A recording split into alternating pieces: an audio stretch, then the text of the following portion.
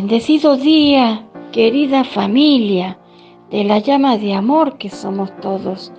Vamos a continuar con pequeñas meditaciones para el mes de Mamita María, dedicado a ella. Nos ponemos en presencia del Señor por la señal de la Santa Cruz de nuestros enemigos. Líbranos, Señor Dios nuestro en el nombre del Padre, del Hijo y del Espíritu Santo. Amén. El corazón de María. Tercer día de meditación. El corazón es el lugar donde, entre otros, guardamos los secretos más íntimos. Es en el corazón donde sufrimos y gozamos, donde disfrutamos y lloramos, desde donde odiamos o nos volcamos amando.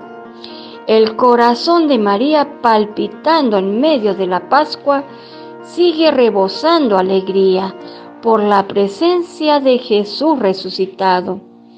Pero también es verdad que con el anuncio del anciano Simeón, la Virgen preparó su corazón a los contratiempos en crueles espadas que la vida y muerte de Jesús de Nazaret le proporcionó una de las flores que más le gusta a nuestra Madre.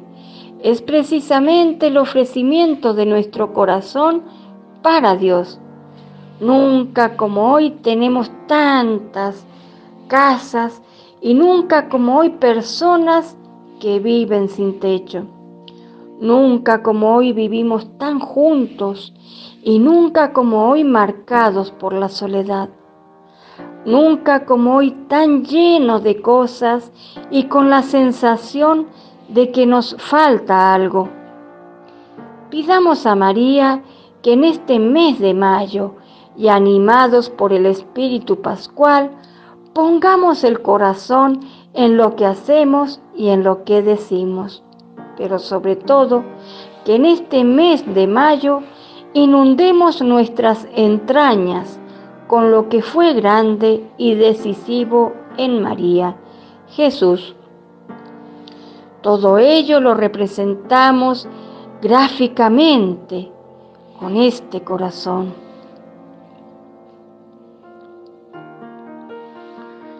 Oración. Tu corazón, María, rebosa agradecimiento. Tu corazón, María, desborda de felicidad. Tu corazón, María, se siente engrandecido por la presencia de Dios. Tu corazón, María, ama incluso a aquellos que no te aman. Danos, María, un corazón sencillo, para acoger a Dios, un corazón noble para sincerarnos por Él, un corazón alegre para sembrar la ilusión, un corazón desprendido para no mirarnos a nosotros mismos, un corazón conciliador para no cerrarnos a los que nos rodean.